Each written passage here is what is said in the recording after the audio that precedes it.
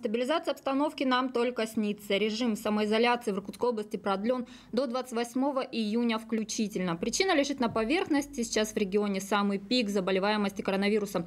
И распространяется инфекция именно среди местного населения. За сутки диагноз подтвердился еще у 198 человек, четверо зараженных умерли.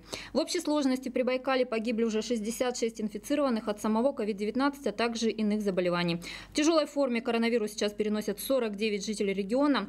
Из-за такой сложной ситуации остаются официально закрытыми турбазы при Байкале, кафе и рестораны. Впрочем, сегодня уже обсуждались возможные сроки возобновления их работы. Пока называется дата 3 июля. Предполагается, что в гостиницах после их открытия питания гостей гостей организуют в номерах, а у точек общепита возобновят работу только летние веранды. И то с соблюдением социальной дистанции всех санитарных норм. Это принципиально важный момент. Ведь в регионе сейчас фиксируется также всплеск внебольничной пневмонии, что для этого времени года не характерно. За последние три месяца такой диагноз получили уже более 4 тысяч человек.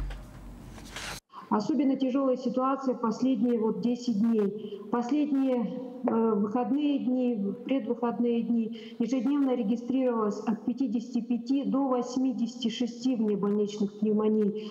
И поэтому возникла необходимость открытия новых провизорных госпиталей. И за выходные мы открыли дополнительные койки в Аюке, в Усолье, в Шелихово.